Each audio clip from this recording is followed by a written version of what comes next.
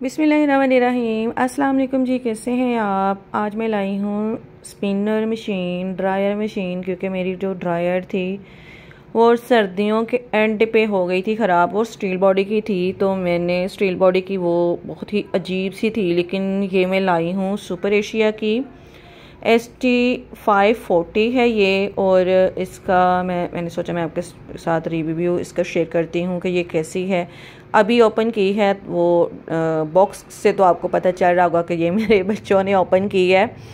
तो ये जो है, बड़ी हमें रीज़नेबल मिल गई, और सबसे मज़े की बात ये कि जो मेरे घर में मेरी वॉशिंग मशीन थी वो उस कलर भी उसके साथ सेम टू सेम मैच हो गया। तो इसके ऊपर स्टार्टिंग पे जो उन्होंने कुछ डिस्क्रिप्शन दी हुई है कि आप इस तरह करके इसको यूज़ कर सकते हैं।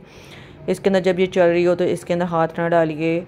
स्पिन वाटर की बास्केट के कपड़े जो है ना, वो बिल्कुल सीधे करके रखिए। तो इस तरह की कुछ हदायत जो कि, और इसका जो स्टार्टिंग लीड है ना, वो बड़ी मज़े की, बड़ी कमाल की है। जो स्टील बॉडी की थी, उसकी स्टार्टिंग लीड ऊपर ही ऐसे मैं रखती थी।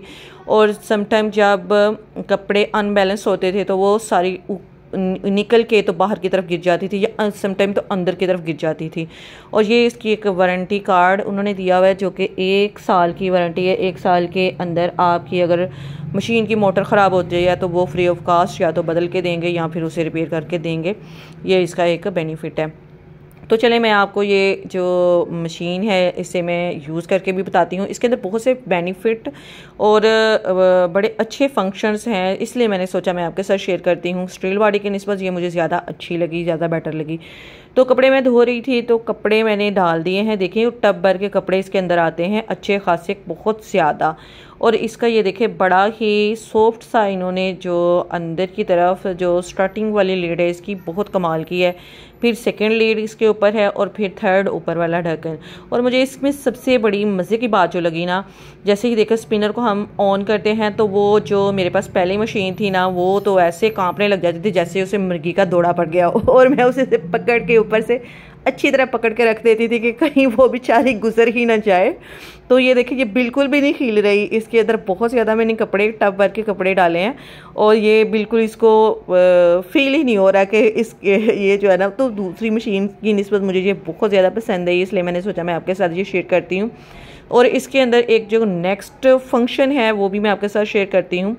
ये जो इसकी लाइट है, वो ब्लिंकिंग कर रही है ना तो वो एक्चुअली मोबाइल में ब्लिंकिंग कर रही है, वैसे ब्लिंकिंग नहीं कर रही होती।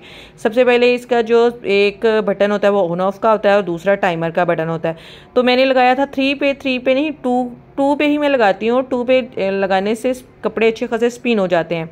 तो अभी देखो जो टाइमर है इसका वो चल रहा है और मैं आपको चेक करवाऊँ। ये मैंने इसका ढक्कन खोला फ़र्स्ट वाला, और ये देखे फ़ौरन से ये रुक गई। और जबकि दूसरी जो मेरी मशीन थी, वो नहीं थी रुकती। और टाइमर मेरा अभी चल रहा है, मैंने टाइमर को ऑफ़ नहीं किया। इसका ये फ़ंक्शन है, जब इसका लीड को ओपन करते हैं ना तो ऑटोमेटिकली वो रुक जाती है। देखिए, मैंने उस ऊपर से बंद नहीं किया, लेकिन वो ऑटोमेटिकली रुक गई है।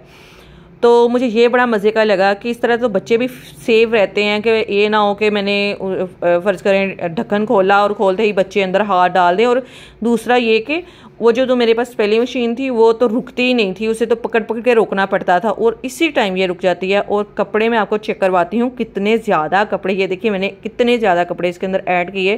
तो ये मुझे बड़ी कमाल की लगी, बड़ी मज़े की लगी। मुझे कमेंट में बताइएगा, आपको कैसी लगी? ओके जी, दुआओं में याद रखिएगा। अल्लाह हाफिज़।